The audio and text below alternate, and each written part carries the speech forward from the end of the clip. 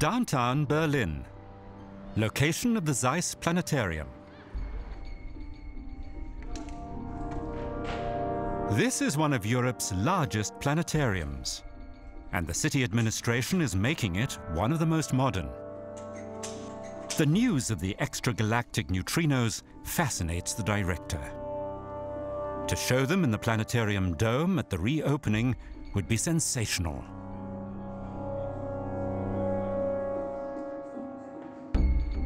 Planetarium director Tim Florian Horn is a specialist in visualizing cosmic phenomena. Using the most modern projection techniques, he wants to make the latest developments and discoveries intelligible to his visitors.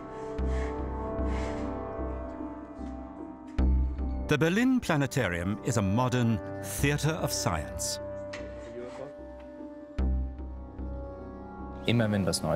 Whenever anything new is discovered, we want to talk about it and show it. We can help people understand neutrinos best if we can show their path through the cosmos. That works very well in the planetarium because our audience gets an idea of the enormous distances in the universe.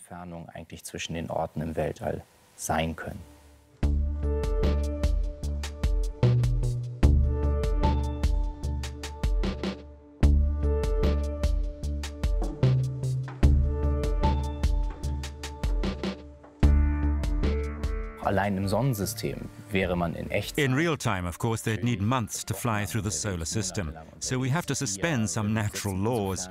We fly faster than the speed of light to a place where, in reality, we would be destroyed by radiation. If we ventured beyond our Milky Way, we wouldn't be able to see other galaxies because our eyes weren't created for that. It's a narrow path we're treading. We want to be scientifically correct, but also intelligible for the audience. So we have to make compromises in scientific accuracy in the interests of intelligibility. Basically, we're a translation office for science. To visualize the newly discovered neutrinos, Horn meets up with the neutrino researcher Christian Spiering and a visual artist in the animation department at the Potsdam Babelsberg Film Studios.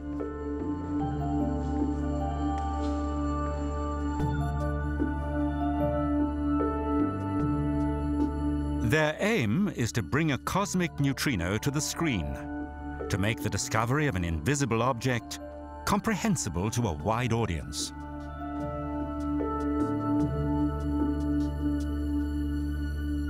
None of them knows what a neutrino really looks like.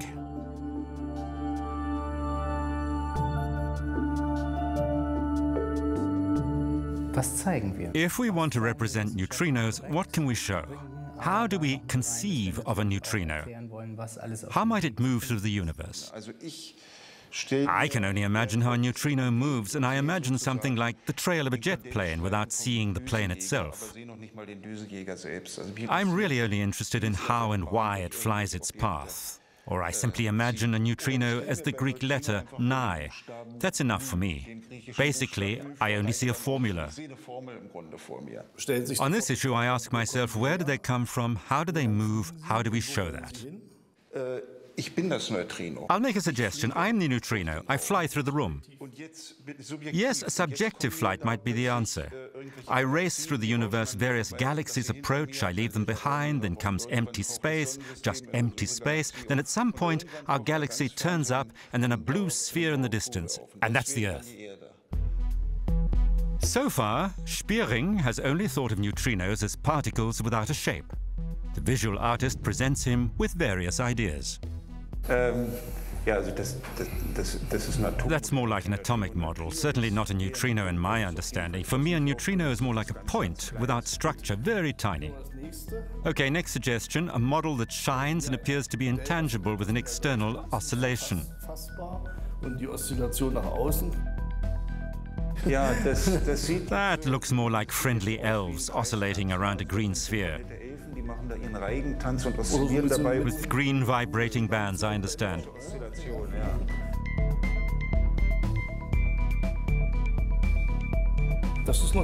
This one's interesting, out of focus. Makes me think immediately of solar eruptions. Of course, we also have the problem that certain images are already familiar. This one probably looks like Star Trek. It wafts around indecisively in space. And it looks very wound up. Yes, very excited neutrino. Previously, I saw something interesting in the computer preview, a sharply defined sphere, rather like a billiard ball. If those edges could fray out or blur, I think we would be closer to the ghostly particle. For me, it's just a bit too big in relation to the screen. No problem. Yes, like that. Let's try that.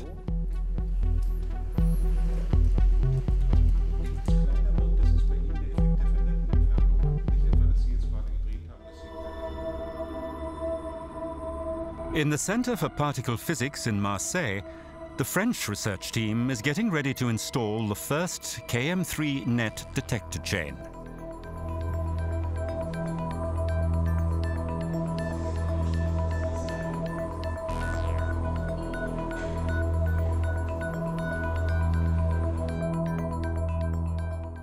These are the, the eyes of the, the telescope.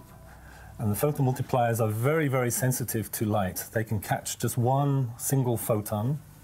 Uh, the human eye actually requires about seven photons before you can trigger that you've detected something, whereas these are much more sensitive than, than the human eye. And we need to measure the position where the photon arrives on the, on the detector with a few centimeter precision. But of course, in the bottom of the sea, uh, we have the sea currents, and in fact, everything is slightly moving. And so in, inside the uh, optical module, we have some very precise compasses which measure the rotation of the sphere and its inclination uh, in, in all directions.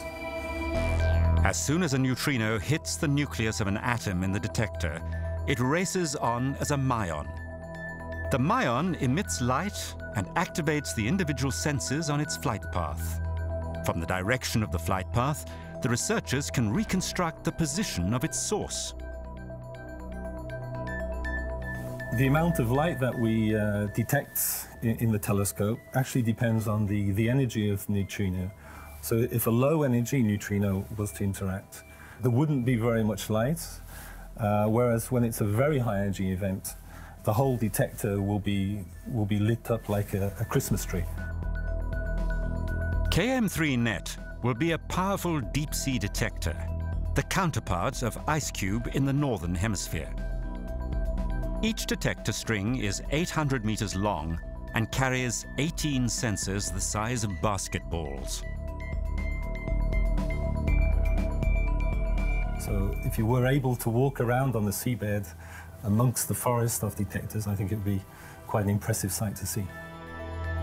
The telescope is not rigid. It floats on the water current. So every sensor has to continuously redefine its position. That's the only way the researchers can determine the direction of the neutrinos. Back to the animation studio. From the planetarium, Tim Florian Horn has brought a software program that can simulate the known universe. In these vast spaces, the team tries to create a dead straight path for the neutrino, from its source to the Earth.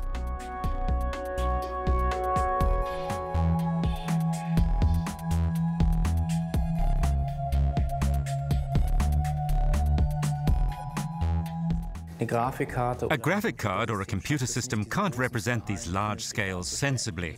We have to be a bit cunning We'll compress the various coordination systems and we'll fly much faster than light. When we're crossing matter, whether it's the Earth or an asteroid, it would be good to try and zoom in on the atomic level. I mean, the level where, as a neutrino, I only see an atom in front of me, the nucleus in the center with a few electrons circling it. Because at the end of the day, an atom is an empty system through which the neutrino flies completely unhindered. Basically, the whole of Earth consists of these empty systems, and that's why it's porous for the uninvited neutrinos. The atomic level should show why the neutrino can fly unhindered through walls and whole planets, a flight through the void.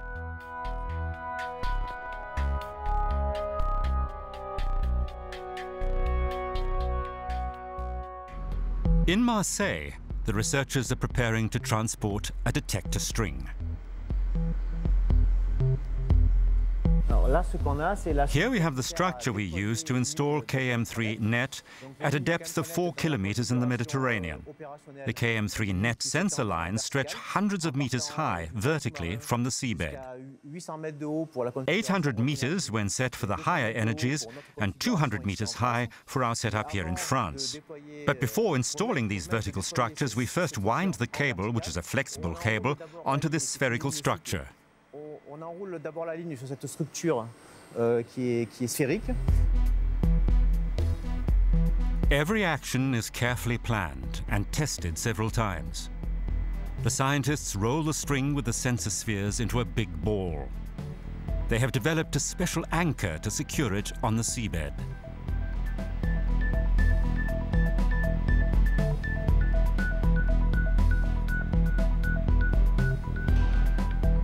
The final step in the construction hall is to load the rolled up string onto the yellow anchor.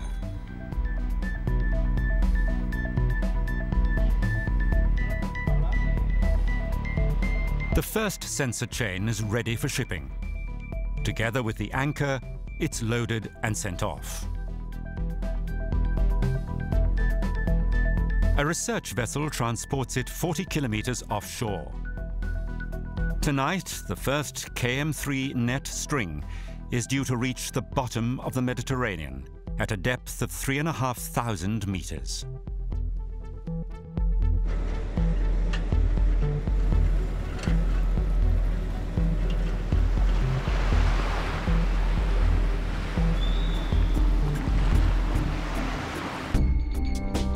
Slowly, at a speed of 12 meters per minute, the anchor and sensors sink onto the seabed. They are accompanied by submersible robots steered by engineers on board the research vessel. Four and a half hours later, the load reaches the bottom. Robotic arms attach cables linking the anchor with the deep sea infrastructure that transmits energy and information to the coastal station.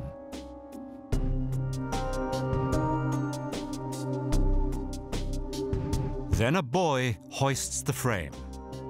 The sensor string unwinds vertically from the metal frame like wool from a ball and releases the individual photosensors to their specific final positions.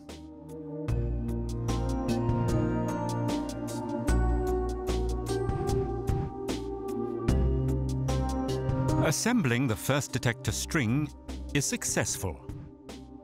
Many hundreds more will follow. Soon, KM3NeT will also be able to identify extragalactic neutrinos.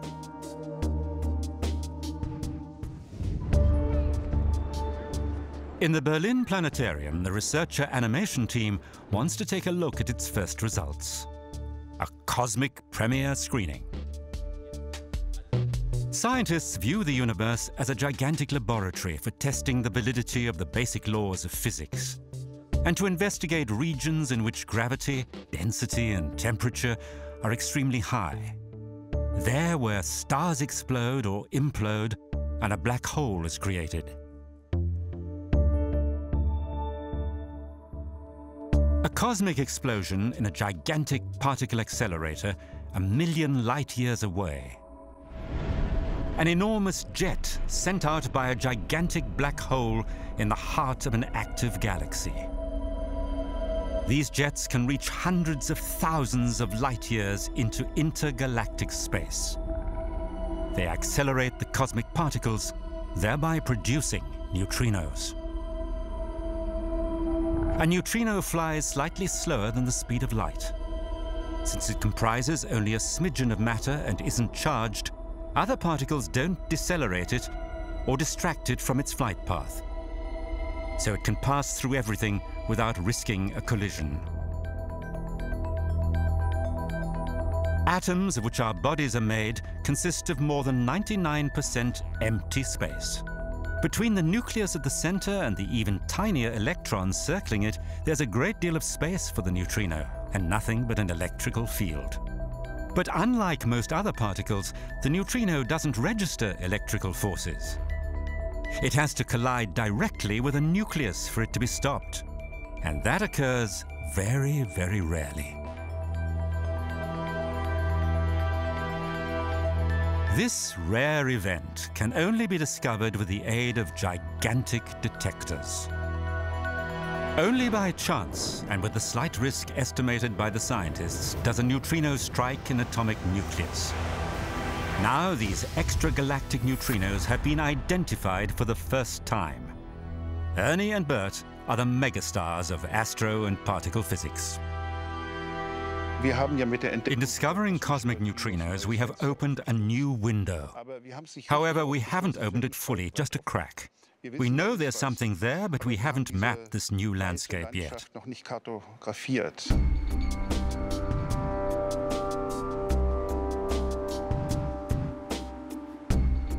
When we find more of these particles and trace them to definite sources, we'll be able to create a mosaic. And then we'll be able to say how these sources really function, how the wildest machines in the cosmos work. Modern physics shows that the behavior of elementary particles at the smallest level and the development of the universe as a whole are inseparably linked. With models and theories, scientists are trying to gauge and extend the boundaries of physics. Neutrinos will help to prove those theories.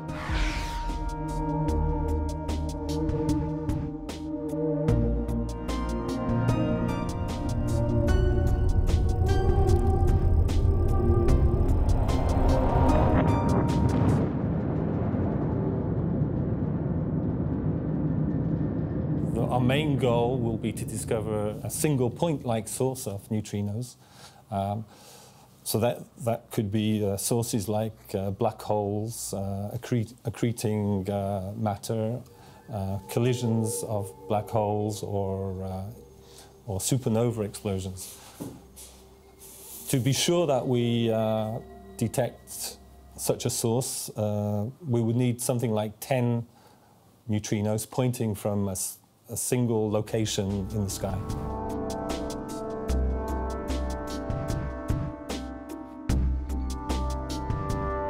Uh, history has shown that every time you switch on a new telescope, uh, you should, should not be surprised to have a surprise.